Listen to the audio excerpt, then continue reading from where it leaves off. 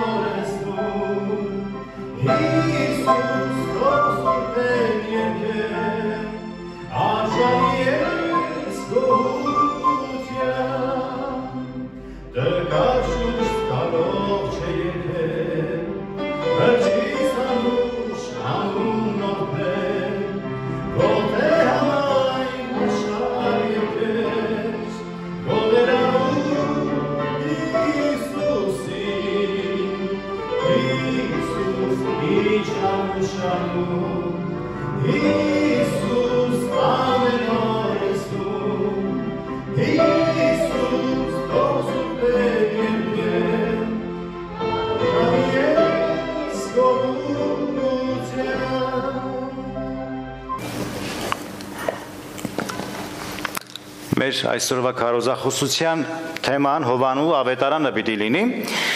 Եվ Տերը կամենա մի քանի չորեքշաբթիներ կառնենք Ինչպես կստացվի կտեսնենք ընթացքում, Հովանու ավետարանից պետք է սերտենք եւ որպես սերտողաշարք կշարունակենք այս ավետարանի մասին ուսումնասիրել։ Ուրեմն ավետարան ըստ Հովանու առաջին գլուխ եւ ուզում եմ կարդալ Առաջին 5 համարները միայն. Ավետարանը Սթովանու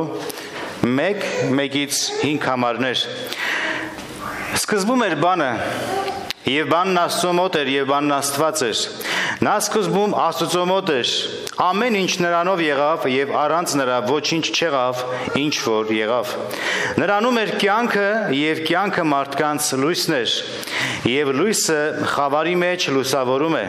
եւ խավարը չճանաչեց այն եւ խավարը չճանաչեց այն Բանն Աստծո նաև նշանակում է խոսքը Հովանու ավետարանը սկսվում է սկզբից գրված է սկզբում էր բանը կամ խոսքը Հունարենով լոգոս բառն է, որ հենց խոսքի մասին է Խոսքը, որ Աստված էր եկավ եւ որպես կյանք եկավ, ինչպես ընթերցեցինք, եւ որպես լույս եկավ, եւ Հովանեսի ավետարանը միառժամանակ շատ པարզ լեզու ունի, շատ հասանելի, շատ հասկանալի է, բայց միևնույն ժամանակ իր པարզության հետ, իր հասկանելիության հետ ունի ավելի խորը աստվածաբանական խորություններ միառժամանակ լեզուն հասկանալի է, բայց միառժամանակ աստվածաբանական խորություն ունի։ Օրինակ վերցնենք հենց այդ առաջին բառը, որ կարդացինք սկիզբը սկզբում Աստված, սկզբում սկզբում էր բանը։ Ինչ սկզբի մասին է խոսքը, երբ որ ասում է սկզբում էր բանը, երբանից պետք է հաշվենք այս սկիզբը Որտեղից ենք հասկանում սկիզբը, ինչ է սա նշանակում, որ ժամանակից պետք է դա հասկանանք։ Կամ խոսքը, բանը, սկզբում էր բանը, ինչ է նշանակում բանը։ Ինչու է այստեղ Հովանես Արաքյալը Քրիստոսի մասին ներկայացնում որպես բանը կամ որպես խոսքը։ Սրանք հարցեր են, որոնք ունեն խորը նշանակություն եւ ցույց են տալիս ավետարանի խորության մասին։ Աստվածաշունչը սկսվում է այս կերպով՝ սկզբում Աստված։ Եթե կարդում ենք Ծննդոց գիրքը, Աստվածաշնչի առաջին գիրքը, առաջին հենց համարներ այդպես է գրված. Սկզբում Աստված երկինքներն ու երկիր արարեց։ Սկզբից Աստված երկինքներն ու երկիր երկիր արարեց։ Եվ դարձյալ տեսնում ենք այս արտահայտությունը, որ սկզբում եւ երկու գրքերն էլ թե ծննդոց գիրքը եւ թե Հովանեսի ավետարանը սկսում է սկիզբով եւ երկու դեպքում էլ այն ցույց է տալիս Աստծո առաջնորդության մասին, առաջնահերթության կամ առաջնայնության մասին, նրա ամենամեծության մասին, որ նրանով եղավ ամեն բան, սակայն այս երկու գրքերի մտքերը տարբերվում են իրարից։ Ծննդոց գիրքը ժամանակների սկզբի մասին է, ստեղծագործության մասին, ակունքների մասին է խոսում, թե ինչպես Աստված արարեց եւ ստեղծեց ամեն բան։ Ծնունդների մասին է խոսում, որովհետեւ հենց ծննդոց դա է նշանակում անգլերենով Genesis կամ Genesis ունարենով, որ ծնունդների մասին է խոսում։ Եվ Հովանեսի ավետարանը նույնպես սկիզբով է սկսում, բայց այստեղ ուրիշ սկզբի մասին է, որ ավելի հին է, անժամանակ սկզբի մասին է, անցյալ եւ անսկիզբ հավիտենականության մասին է խոսքը, եւ այդ խոսքը Աստծո մոտ էր կարդացինք։ Սկզբում էր բանը եւ բանը Աստծո մոտ էր։ Այդ սկիզբը, որ եղավ, խոսքով եղավ եւ այդ խոսքը Աստծո մոտ էր կարդում ենք անցյալ եւ անսկիզբ հավիտենականության մասին այստեղ խոսքը եւ այդ խոսքը Աստծո մոտ էր եւ այդ խոսքը Աստված էր ինչպես ընթերցեցինք մեր համարների մեջ Հովանես Արաքյալը իր գրքերում թե ավետարաններում եւ ավելի շատ ընդհանրական թղթերում խոսում է մոլորությունների դեմ, հերձվածության դեմ, ովքեր առաջ եկան անմիջապես այն ժամանակ, երբ որ եկեղեցին ծնունդ առավ եւ եկեղեցին մեջտեղ եկավ, մի անգամից եկեղեցին ենթարկվեց փորձությունների, եկեղեցին ենթարկվեց հարցակումների։ Առաջ եկան մարդիկ, ովքեր իրենց գաղափարներով, իրենց մտածելակերպով, իրենց նոր ուսուցումներով եւ փիլիսոփայություններով հարցակվեցին եկեղեցու վրա, Աստծո խոսքի վրա եւ վարդապետության վրա։ Եվ այս Ուսմունքները, այս գաղափարները հունական եւ եգիպտական եւ բաբելոնյան գաղափարների խառնուրդ հանդիսացող ուսուցման հետևորդներն էին։ Այսպես կոչված գնոստիցիզմի կողմից, գնոստիկների կողմից, ովքեր իրենց իմաստասերներ էին համարում, իմաստուններ էին համարում։ Եվ նաեւ քիչ չէր հարցակումը եւ ճնշումները հուդայականության կողմից, հուդայական օրենսդիրների կամ փարիսեցիների, դպիրների կողմից։ Այսինքն եկեղեցին ինչ ծնունդ առավ մեջտեղ եկավ իր գործնությունը ծավալվեց եկեղեցին ծնունդ ստանալուց հետո անմիջապես ենթարկվեց հարցակումների, փիլիսոփաների, գաղափարախոսների կողմից եւ նաեւ հուդայական օրենսդիրների կողմից։ Եվ Հովանեսի գրվածքները, որոնք 5-ն են, Հովանես Արաքյալը 5 գրքեր է գրել, 5 նամակներ կամ Ավետարան Հովանու 3 ընդհանրական թղթերը իր եւ հայտնության գիրքը իր ձեռագիրն են եւ Հովանեսի թղթերը աստվածաբանական խորություններ են պարունակում եւ միաժամանակ իր աստվածաբանական խորությունների հետ մեծտեղ են գրավում վերականգնողական բովանդակությամբ թելադրություններ նման հերձվածող մոլորությունների դեմ։ Հովանեսի ավետարանը եւ թղթերը ներկայացնում են վերականգնողական կամ նորոգման աշխատանքներ, ինչը ցույց է տալիս այն մասին, որ մի բան փչացել է, մի բան ապականվել է եւ վնաս է հասցված եւ հարցակման պատճառով է այս վնասը հասցված եւ կարիք կա նորոգության, կարիք կա ապակինման եւ Հովանեսի թղթեր, Հովանեսի ուղղվածությունը, հա, իր շարժարիթը գրելու մոլորությունների դեմ է,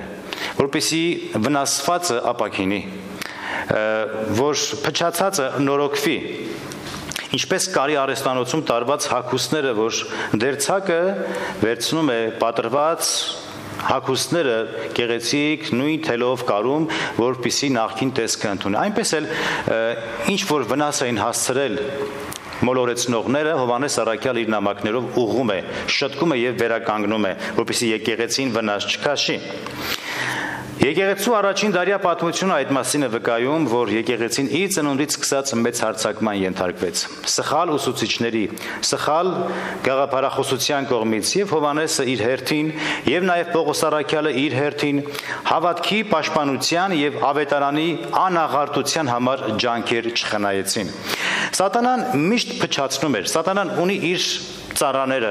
իր ամբիտան աշխատավորները, որոնց միջոցով իր չարագուշակ ծրագրերը առաջ էր տանում։ Միշտ փչացնում վնաս հասցնելով հավատացյալների հավատքին, հավատացյալների հույսի վրա, հավատացյալների ճշմարիտ վարդապետության վրա եւ Աստված իր цаրաների միջոցով ինչպես Հովանեսը, Պողոսը եւ մյուսները նորոգման աշխատանքներ էին տանում։ Սատանան միշտ մոլորեցնում է, միշտ ապականում էր, Աստված իր զավակների միջով միջոցով շտկում եւ առաջնորդում էր արդարության ճանապարհով։ Եվ այսպես է եղել դարեր շարունակ եւ առ այսօր եւ այս մոլորվածներն ու մոլորեցնողները թե գիտակցաբար եւ թերևս անգիտակցաբար այսօր էլ շարունակում են ծավալվել, այսօր էլ շարունակում են այս չար գործը անել։ Եվ նրանք ամենուր են սիրելիներ։ Մոլորեցնողները, սխալ ուսուցումներ բերողները այսօր էլ կան։ Հոգևոր աշխարհի մեջ քրիստոնեական համայնքներում, եկեղեցիներում եւ եկեղեցու պաշտոններում զբաղեցնող մարդիկ եւ մենք կարող ենք նրանց տեսնել այսօր մեր կողքին են Ոստի Հովանեսի թղթերում շատ ենք հանդիպում զգուշացման խոսքերի։ Օրինակ առաջին թղթի երկրորդ գլուխ 18 եւ 22 համարները որ նայենք Հովանու առաջին թուղթ, երկրորդ գլուխ 18-22 համարներ, այստեղ առաքյալը զգուշացնում է, որ շատ անտիքրիստոսներ են եկել, շատ ներեր են եկել, բազմաթիվ ներեր են եկել, եւ որ արդեն ներերը մեր մեջ են եւ այն մարդկանց է օրինակ վերում, ովքեր որ բարձր պաշտոններ են զբաղեցնում, ովքեր որ կուսակալներ են, ովքեր որ կայսրեր են, ովքեր որ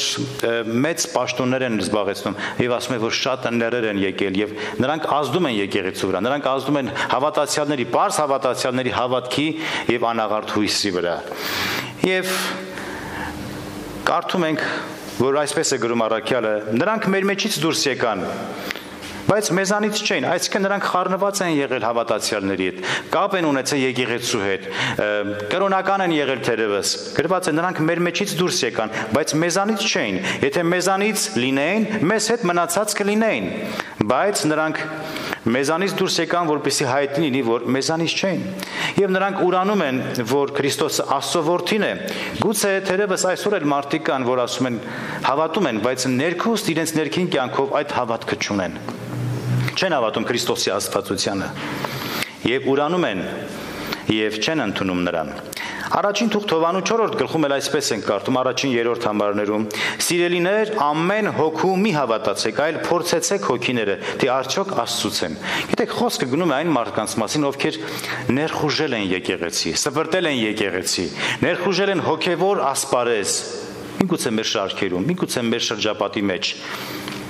մեր ծանոթության մեջ իբրև քրիստոնյաներ, իբրև հավատացյալներ, բայց իրականում նրանք ուրանում են Քրիստոսի աստվածությունը։ Այդ կենթանի փրկարար հավատքը չունեն, այդ խոնարհությունը չունեն, այդ հնազանդությունը չունեն Աստծո խոսքի հանդեպ։ Ամեն հոգու մի հավատացեք ասում, այլ փորձեցեք հոգիները, թե արդյոք Աստծուց են, որովհետև բազում սուտ մարգարեներ են աշխարհ եկել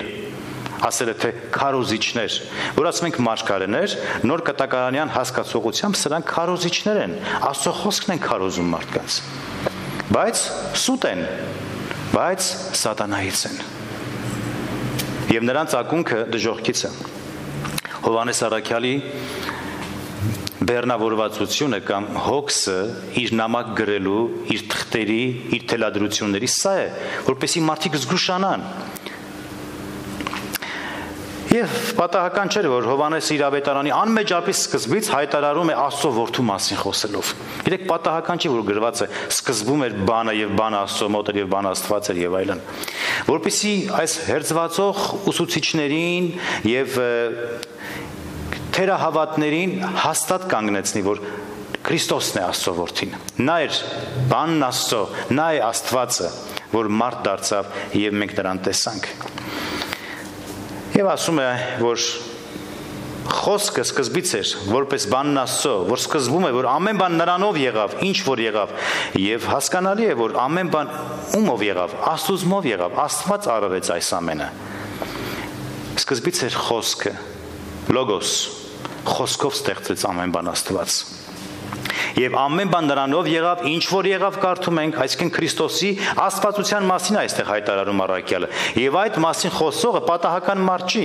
Հովանես առաքյալը Հիսուսի ընկերակիցն էր, նրա աշակերտն էր, ավելին նրա սիրելի աշակերտն էր, որ իր գլուխը միշտ դնում էր նրա կրծքին։ Եվ նրա վկայությունը ճշմարիտ է եւ հաստատուն է։ Եվ նրա վկայությունը հաստատ վկայությունը եւ մարդիկ սրա այս մասին հստակ գիտեին։ Մեզանից քչերը նույնպես այս կարգավիճակում ենք սիրելներ։ Մեզանից քչերը, որովհետեւ քիչ են նրանք, որ անաղարտ ավետարանն են այսօր ուսուցանում եւ քարոզում։ Ինչպես Հովանես Առաքյալ այն ժամանակ, որ ջանում ենք մենք էլ փոխանցել մաքուր ավետարանը, խոսում մոլորեցնողների դեմ, որպեսի մարդիկ զգուշանան, եւ նրանց վտանգի մասին խոսում, պաշտպանելով մեր հավատքի դավանությունը։ Սա նման է ամեն անգամ հարցակման ենթարկվող եւ վնասված բնակավայրի, ինչը կարիք ունի նորոգության։ Մարդիկ անընդհատ հարցակվում են, հարցակման են ենթարկվում։ Հավատացյալները անընդհատ հարցակման են ենթարկվում։ Ոնց են հարցակման ենթարկվում, կասեք։ Սուտ ավետարան լսելով, սխալ վարդապետություն լսելով, եւ նրանց հավատքը սկսում է քայքայվել, հույսը սկսում է փլուզվել, ինչու որովհետեւ սխալ են կերակրում նրանց։ Մաքուր կաթի հետ ջուր են խառնում։ Մեզ հարկավոր է նայել սկզբին, նայել թե ինչ կար սկզբում։ Որովհետեւ սկզբում կյանքն էր, խոսքն էր, եւ խոսքը Աստված էր, եւ նրանում էր կյանքը։ Կյանքը խոսքի մեջ էր։ Խոսքը Հիսուս Քրիստոսն է։ Ինքն է կյանքը։ Հիմա ուզում ենք իմանանք որտեղ էր կյանքը։ Կյանքը խոսքի մեջ էր եւ նա սկզբում էր։ Անժամանակ սկզբում էր։ Եվ այստեղ ստեղծագործության մասին չի, այսինքն տեսանելի ստեղծագործության մասին չի։ Սա Աստծո մասին է խոսքը գնում։ Քրիստոսի մասին է խոսքը գնում։ Մենք չենք տեսնում, որ սկզբում շատ փիլիսոփաներ կային։ Մենք չենք կարդում այստեղ, որ սկզբում շատ վարդապետներ կային, շատ ուսուցիչներ կային, շատ խելացի մարդներ, մարդիկ կային, շատ գաղափարախոսություններ կային։ Երբեք տեսնում ենք, որ սկզբում սկզբում խոսքն էր հա վարդապետները, մարգարեները, չգիտեմ, փիլիսոփաներին թողում ենք մի կողմ։ Նրանք սկզբում չէին, նրանք առաջ եկան խանգարելու սկզբին։ Նրանք առաջ եկան խանգարելու խոսքին սկզբում էր ուրեմն խոսքը եւ խոսքը կյանք էր ներկայացնում իրենից Ոստի սխալ ուսմունքների եւ սխալ վարդապետության հետևանքով հոգեվորի վրա թողնված ախտերի եւ բացված անցքերի վերականգնման միակ միջոցը կյանքն է այսինքն Քրիստոսն է եւ կյանքի միջոցով միայն կարելի է վերականգնել այս բացվածքները, այս ախտերը բժշկել, ապակինել եւ փչացածը նորոգել, այսինքն խոսքի միջոցով, Քրիստոսի միջոցով։ Հիսուսին գտնողը կյանք է գտնում կարդում ենք եւ կյանքը նրա համար չէ որ մարդիկ պարակտեն բզկտեն, ինչպես Տեր Հիսուսին բզկտեցին, պարակտեցին, ծեծեցին, իր իր հակուսները 4 մասի բաժանեցին, անհարգեցին, սպանեցին Կյանքը դրա համար չի, որ հավելումներ մցնեն, իրենց գաղափարները առաջ տանեն, իրենց եսը գոհացնելու համար, այլ որպեսի ապրեն։ Կյանքը ինչի համար է։ Ապրելու համար է։ Ավելին ասեմ, կյանքը վայելելու համար է։ Ո՞վ է մեր կյանքը, որպես քրիստոնյա հավատացյալներ, որպես Հիսուսի հետևորդներ, մեզ համար կյանքը Հիսուս Քրիստոսն է։ Եվ Հիսուս Քրիստոսին մենք պետք է վայելելով ապրենք իր քաղցրությունը, իր անուշությունը վայելենք։ Եվ ապրելը նույնպես Քրիստոսն է, որի մասին խոսեց Պողոս Արաքյալը հենց սկզբից։ Եվ կյանքը մեզ սովորեցնում է նայել խոսքին, որովհետև սկզբում ոչինչ չկար բացի կյանքից։ Բանն Աստված էր կարդում ենք, բանը կամ խոսքը նույն միտքն է հունարենով լոգոս ուրեմն սկզբում էր բանը խոսքը եւ սա նշանակում է աստված էր սկզբում անցյալ անսկիզբ հավիտենականության մեջ խոսքն էր որով աստված հայտնվեց իր խորհրդավորությամբ խոսքը աստծո մոտ էր կարդում ենք եւ խոսքը աստված էր ուստի խոսքը միշտ աստծո մոտ էր եւ կամ բանը կամ խոսքը Աստծուն միշտ իր հետ ուներ։ Սա նման է, գիտեք, երբ որ որդին հորից հեռու է, բայց երբ որ որդին իր հորից նամակ է ստանում, եւ կարդում է հոր նամակը, հոր մտքերը, հոր թելադրությունը, ինքը հոր հետ է հաղորդակցվում նամակը գիրը կարդալով կարծես ինքը միասին են արդեն հեր այդ հերավորությունը վերանում է մեջտեղից այլևս հայրը հերվում չի որովհետև իր խոսքը որդու մոտ է այնպես էլ բանը միշտ աստծո հետ է եւ որտեղ որ աստծո խոսքն է այնտեղ նաեւ աստծո ներկայությունն է ոմանք կարծում են եւ կարծում են որ Քրիստոսը սկզբում Աստված չէր այլ հետո դարձավ Աստված։ Այսինքն մոլար վարդապետներ այսպես են ուսուցանում, որ Քրիստոսը հետո դարձավ Աստված, կատարելագործվեց, սրբագործվեց, հետո Աստվածային կարծես թե դասին հասավ։ Բայց սա մոլորություն է։ Սա խեղաթուրում է ճշմարիտ խոսքը։ Այլ որդին միշտ Աստված է եղել։ Հիշենք Հովանու 3:16-ը։ Վասնզի Աստված այնպես սիրեց աշխարը, որ իր միածին որդուն տվեց։ Որդին կար, որ Աստված տվեց։ Որպեսզի ով որ նրան հավատա, չկորչել հավիտենական կյանք ունենա։ Նա Աստված էր անժամանակ հավիտենականության մեջ։ Նա եղել է եւ կա ճշմարիտ հավիտենական Աստվածը,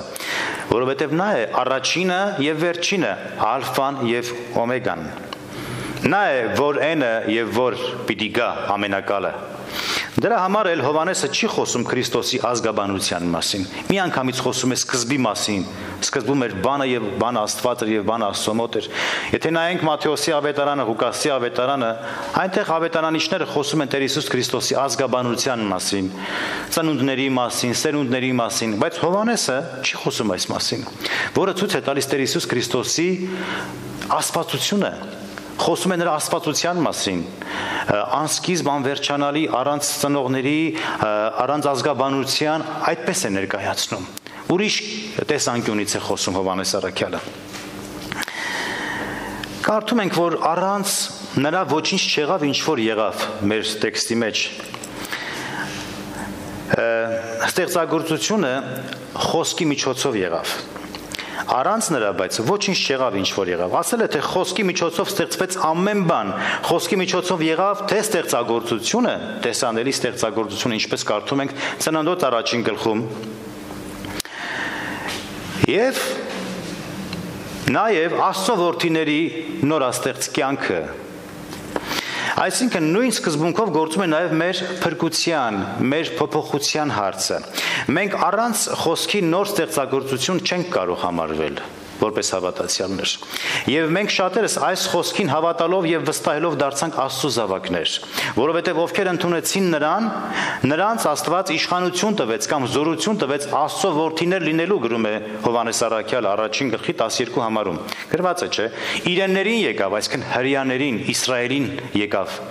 Իրենները նրան չընդունեցին, մերժեցին Տեր Հիսուսին, բայց ովքեր ընդունեցին, նրանց իշխանություն տվեց Աստծո որդիներ լինելու։ Խոսքը, որին ֆիզիկապես չենք տեսնում, կյանքը ում դարձյալ չտեսած մենք ընդունեցինք հավատքով։ Գիտեք, մեզի քարոզվեց, մեզի վկայվեց, մենք բայց չտեսած հավատացինք եւ ընդունեցինք եւ Աստված փրկեց մեր անմահ կյանքերը։ Ինչպես այդ մասին կարդում ենք Հռոմեացիս 4-րդ գլխում 17 համարում, որտեղ խոսքը գնում է Աբ รา համի մասին, որտեղ գրված է, որ ինչպես Աբ รา համը, որ չեղած բաներին հավատաց եղածի պես։ Հավատաց, եւ այդ հավատքը իր համար արդարություն համարվեց։ Աստծուն պետք էր լույս, ստեղծագործությունը երբ որ նայում ենք, ինքը ասաց, խոսեց եւ լույս եղավ։ Ասես թող լույս լինի եւ լույս եղավ։ Ամեն բան խոսքով ստեղծեց։ Նա պարզապես խոսեց։ Ուրեմն խոսքի միջոցով եղան այս բոլոր բաները եւ առանց նրա ոչինչ չեղավ, ինչ որ եղավ։ Աստված իր անելիքը ворթիով է իրականացնում խոսքով է իրականացնում։ Նա է սկիզբը, նա է ստեղծագործության սկիզբը, նա է մեր նոր կյանքի եւ մեր նոր պատմության սկիզբը։ Երբ որ մենք նոր կյանք մուտք գործեցինք, հոգևոր կյանք, վերստին ծնվելով Սուրբ Հոգուց, մեր կյանքի սկիզբը Տեր Հիսուս Քրիստոսով եղավ։ Խոսքով եղավ, խոսքի միջոցով։ Խոսքը լսեցինք եւ հավատացինք որովհետև հավատքը լսելուց է լսելը Աստծո խոսքից է։ Այն խոսքը, որ քարոզվում է ավետարանի միջոցով։ Ուրեմն առանց խոսքի անհնար է Նրա միջոցով է մեր փլատակների վերածված կյանքերը վերակառուցվում, մեր սևացած կյանքերը փոխվում, մեր խավարած կյանքերը լուսավորում, որովհետև ինքն է մեր լույսը։ Որովհետև երբ Աստված ասաց խավարից թող լույս ցակի, հենց ինքը մեր սրտերի մեջ ցակեց գրում է Պողոս Արաքյալը Կորինթացիներին ուղված նամակի մեջ։ Դարձյալ տեսնում ենք, որ խոսքի միջոցով միայն կարող ենք մենք լուսավորվել, կյանք ստանալ եւ վերստին ծնունդ ապրել։ Եվ այս խոսքը, որի մասին այդքան խոսում ենք, ակնարկում ենք, միջոցն է հավիտենական կյանքի։ Եվ ոչ միայն միջոցը, այլև ակը եւ աղբյուրը։ Նայեցեք, Տեր Հիսուս Քրիստոսը ոչ թե միջոցն է, այո, միջոցն է եւ միջնորդն է, բայց իր մեջ է կյանքը։ Ինքն է ակն ու աղբյուրը կյանքի։ Քանի որ կյանքը հենց խոսքի մեջ է, ըստ առաջին գլուխ 4-րդ համարի այդպես կարդացինք։ Նրանում էր կյանքը եւ կյանքը մարդկանց լույսն էր։ Եվ հարկ էր, որ ստեղծագործությունը ամբողջանար, երբ որ նայում ենք ստեղծագործությանը ծննդոց գրքից սկսված առաջին երկրորդ գլուխները, երբ որ կարդում ենք, ամբողջանար ստեղծագործությունը իր լրումին հասնելով եւ գար հետո ժամանակը Աստծո կամքի պես, երբ խոսքը պիտի մարմին դառնար եւ ապրեր մարդկանց մեջ եւ մարդկանց կյանք ապարգևեր։ Այս խոսքը Տեր Հիսուս Քրիստոսն է, որ մարմնացավ։ Եթե չլիներ մարդկությունը, ստեղծագործությունը, կենթանական աշխարհը եւ առասարակ մարդկությունը, ապա ինչի համար էր պետք կյանքը։ Ում էր պետք կյանքը։ Եվ շատ կարևոր է այստեղ նկատի առնենք հերթականություն։ Նախ պետք է Աստված ստեղծեր ամեն բան, մարդկությունը, սերունդները, ցեղերը, ժողովուրդները պետք է մեջտեղ գային, որից հետո Տեր Հիսուս Քրիստոս պետք է գար որպես կյանք, նրանց կյանք տալու համար։ Ժամանակից շուտ կյանքը իմաստ չուներ։ Ինչպես Կարդում ենք Զաքարիայի մարգարության 12-րդ գլխում, առաջին համարի մեջ մարգարեն ասպես է գրում. Տերը տարածել է երկինքը, հիմնել երկիրը եւ ստեղծել մարդու հոգին։ Տերը ուրեմն նախ եւ առաջ երկինքը, հետո երկիրը, հետո մարդկային հոգին։ Այսինքն երկինքը երկրի համար է հոգ տանում, երկիրն էլ մարդու համար Իսկ մարդու մեջ էլ հոգի է դրել, որպեսի մարդը կարողանա ըմբռնել, կարողանա հասկանալ, կարողանա հավատալ Աստծուն եւ ընդունել նրան, հնազանդվել նրան։ Տեսնում եք հերթականությունը որքան գեղեցիկ է։ Նախ երկինքը, երկիրը, մարդը եւ ամեն բան իր նշանակությունը ունի։ Այսօր մարդիկ այս կարիքը ունեն։ Մարդիկ կարիքը ունեն խոսքի, մարդիկ կարիքը ունեն Քրիստոսի։ Պարզապես շատերը չգիտեն։ Շատերի մեջ մարդկային եսը, մարդկային էգոն այնքան շատ է, այնքան լիքն է, որ Հիսուսի համար տեղ չեն ուզում պահեն։ Լծված են մարդկային եսով, էգոիզմով, եսասիրությամբ, ինքնահավանությամբ, աշխարհի բերք ու բարիքով, աշխարհասիրություններով եւ Հիսուսի համար տեղ չեն թողել։ Մի փոքր տեղ։ Կյանքը ասացինք խոսքի մեջ է։ Մենք հիշում ենք Տիրոջ խոսքը, երբ ասաց այն խոսքերը, որ ես խոսում եմ, դրանք հոգի եւ կյանք են Հովանու ավետարան 6-րդ գլխում։ Եվ առհասարակ Հովանու ավետարանը կյանքի ավետարան է։ Այստեղ շատ է խոսքում հավիտենական կյանքի մասին, որ Տեր Հիսուս Քրիստոսի մեջ է։ Այն խոսքեր, որ ես խոսում եմ, ասած Տերը, դրանք հոգի եւ կյանք են։ Ինչի, ինչի կարիքն էլ մենք ունենք այսօր։ Ոստի մարմնացած խոսքի մեջ մենք տեսնում ենք Աստծո պատկերը։ Տեր Հիսուս Քրիստոսին, ով բանն Աստծո է, ում մեջ է բնակվում աստվածության ամբողջ լեցունությունը, ինչպես տեսնում ենք Գողոսացիս առաջին գրքում։ Ամեն անգամ, երբ մեր ականջին հասնում է Աստծո խոսքը, ամեն անգամ, երբ որ լսում ենք ավետարանի ձայնը, Աստծո խոսքը, դա նշանակում է, որ մենք լսում ենք Աստծուն Աստծո падգամներն ենք լսում։ Պարզապես բոլորը չեն որ հնազանդվում են խոսքին, բոլորը չէ որ հավատում են եւ ընդունում են այդ խոսքը որպես կյանքի խոսք։ Եվ սա անասելի մեծ շնորհք է Աստծոց մեզ տրված։ Մեծ ողորմություն է մեզ համար։ Պետք է գնահատենք Տեր, գնահատենք Տիրոջը խոսքը։ Պետք է գնահատենք այս ժամանակները, որ Աստված մեզ շնորհում է։ Գնահատելու մեջ լսենք խոսքը, գնահատելով հնազանդվենք խոսքին, փայփայենք խոսքը։ Սա հավիտենական գանձ է, արժեքավորենք այս խոսքը, որովհետև Աստված է խոսում։ Հովանեսի ավետարանը ներկայացնում է կյանքը ասացինք եւ Տեր Հիսուս Քրիստոսին որպես կյանք եւ որպես Աստված եւ կարդում ենք որ կյանքը նրանով էր եւ կյանքը մարդկանց լույսն էր կյանքը մարդկանց լույսն էր սա հիշեցնում է ծննդոց գրքում կյանքի ծառին ինչի մասին Հովանես Արաքյալը խոսում է նաև հայտնության գրքի մեջ հայտնություն 22-րդ գլխում դարձյալ այստեղ ակնարկյանում կենաց ծառի մասին Ծննդոց գրքում, երկրորդ գլխում եւ Հայտնության գրքի 22-րդ գլխում, այսինքն առաջի գրքում եւ վերջին գրքում կենաց ծառին ենք հանդիպում եւ սա պատահական չի։ Եվ սա Տեր Հիսուս Քրիստոսի մասին է խոսում։ Եվ այդ ծառի նշանակությունը կրկին կյանքի մասին է։ Եվ դարձյալ Հովանու 11:25-ում Տեր Հիսուս ասաց. Ես եմ կյանքը։ Ես եմ կյանքը։ Հովանու 14:6 Տեր Հիսուս ասաց. Ես եմ ճշմարտությունը, ճանապարհը եւ կյանքը։ Սա այն կյանքն է, որը հաստատված է Աստծո անսխալական եւ հավաստի խոսքով, այն չի անցնում, այն չի փոխվում, որովհետեւ այդ խոսքը Հիսուս Քրիստոսն է եւ Հիսուս Քրիստոս երեք, այսօր եւ հավիտյան նույնն է ամփոփող Աստվածը։ Եվ այդ կյանքի կարիք ունենք այսօր մենք։ Կենաց ծառի կարիքը ունենք Այն բացված է մեզ համար։ Պարզապես տեղ տանք նրան մեր կյանքերի մեջ։ Գնահատենք նրա խոսքը, որովհետև նրա խոսքի միջոցով է մեր հավատքը ավելանում։ Նրա խոսքի միջոցով ենք մենք նրան ճանաչում եւ մեր աչքերն են բացվում։ Մեր եւ մեր խավարած հոգիներն են լուսավորվում։ Դրա համար Աստված կամենում է, որպեսզի մենք ունենանք նրա խոսքը, պահենք այն եւ դա լինի մեզ համար առաջնային, սկզբնային մի բան, որով էլ ծնունդ ստացանք ի վերուստ այս անխարդախ խոսքի միջոցով ի վերուստ, որպես սեր մեր մեջ ընկնելով մենք վերածնվեցինք։ Ոստի հնազանդվենք Աստծո խոսքին եւ հավատարիմ լինենք Աստծո խոսքին միջև վերջ։ Մենք դերը կամենակ շարունակենք Հովանու ավետարանը սերտել, գալ մեր աշտամունքների ընթացքում։